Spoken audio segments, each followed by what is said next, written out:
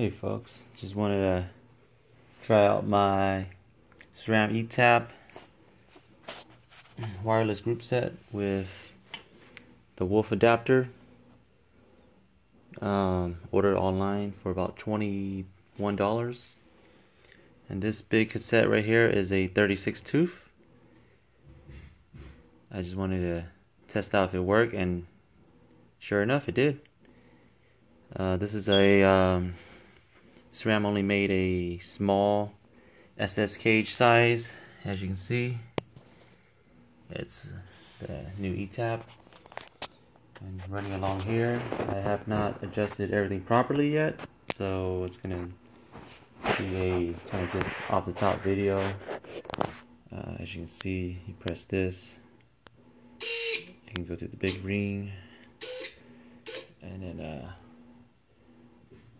try out one gear at a time. Let's see, maybe maybe a little tweaking.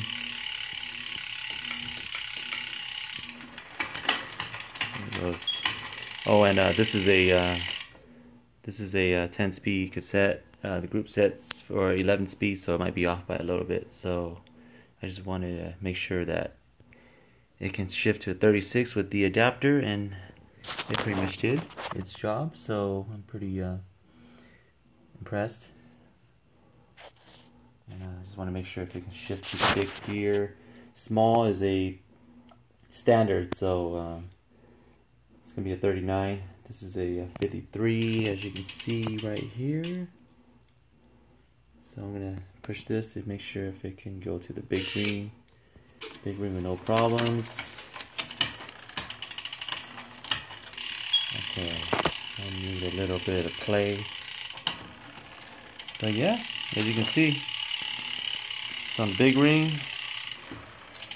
Does not appear to have any sort of difficulty going to the 36 tooth.